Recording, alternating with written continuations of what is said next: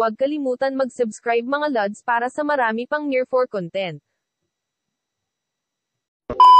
Welcome back mga lods, may bagong video na naman tayo.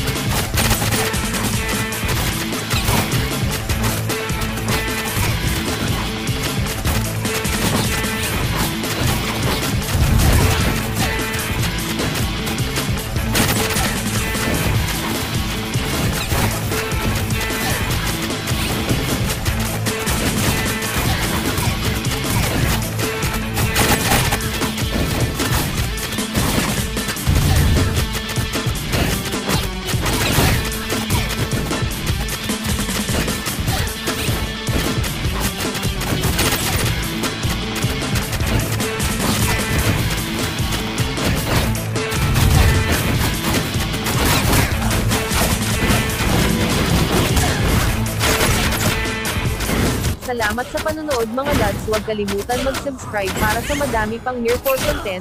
Kita-kit sa susunod na video.